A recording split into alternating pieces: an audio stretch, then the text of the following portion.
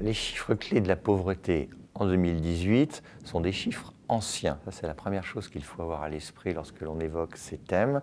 C'est parce que les données qui caractérisent ces problèmes de pauvreté et parmi le sujet de la pauvreté, les différents thèmes de la pauvreté, celui du sans-abrisme, qui est un terme un peu pompeux pour désigner la question des sans-abri, sont des chiffres qui datent. Nous avons par exemple les chiffres de la pauvreté en 2016 et vous avez, au regard de l'indicateur le plus couramment utilisé, 14% de la population en France qui est comptée comme pauvre, c'est-à-dire à peu près 9 millions de personnes. Et vous me posez la question en 2010 sont des chiffres de 2016.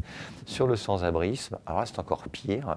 Nous avons des chiffres qui euh, sont issus de deux enquêtes de l'INSEE, l'une au début des années 2000, l'autre au début des années 2010, euh, et nous sommes toujours en 2018, qui évoquaient 140 000 personnes sans domicile, c'est-à-dire sans abri complètement à la rue, ou bien dans les centres d'hébergement. Maintenant, de manière plus récente, en février 2018, vous avez une enquête particulière menée de façon originale d'ailleurs avec les habitants dans la ville de Paris qui recensait un peu plus de 3000 personnes sans abri, c'est-à-dire complètement à la rue. Si on veut avoir le panorama, non pas exact de la situation, mais l'actualité des données, ce sont ces chiffres clés.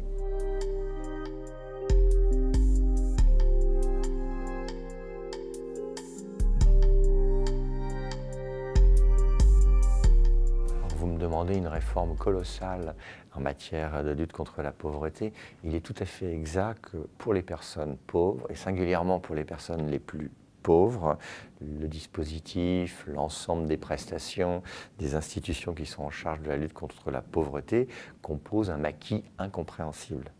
Nous avons, surtout ces 20-30 dernières années, ajouté des prestations, des protections, des services, des garanties, qui ne fonctionnent pas totalement puisqu'il demeure toujours des gens dans une mouise, terme qui se comprend bien, noire, et des personnes qui ne touchent pas ce à quoi elles pourraient euh, prétendre. Il y a beaucoup d'efforts, mais en même temps, il y a toujours des trous dans les filets que l'on a mis en place.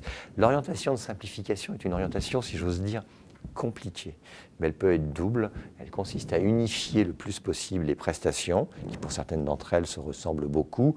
Pour les amateurs, le revenu de solidarité active ressemble beaucoup à l'allocation de solidarité spécifique versée par Pôle emploi. Donc la logique d'unification est très valable. Et le deuxième sujet qui, moi, m'intéresse davantage aujourd'hui, c'est l'unification et la simplification du travail social et de l'accompagnement. Une idée. Nous avons euh, en matière sanitaire des médecins traitants il faut, de mon point de vue, organiser la même chose du côté du travail social. Ce serait rationaliser, sans forcément d'ailleurs rationner les moyens.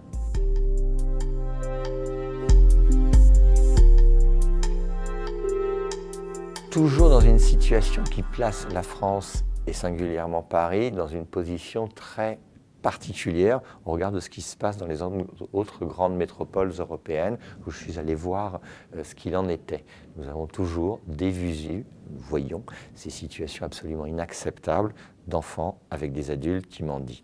La situation est une situation indigne, elle est une situation qui ne peut être traitée que par le juge. C'est le juge qui va décider si oui ou non il doit agir pour protéger ses enfants et surtout s'il doit agir pour punir ces adultes qui ne sont pas forcément euh, les parents. Moi, j'ai une proposition, je la livre.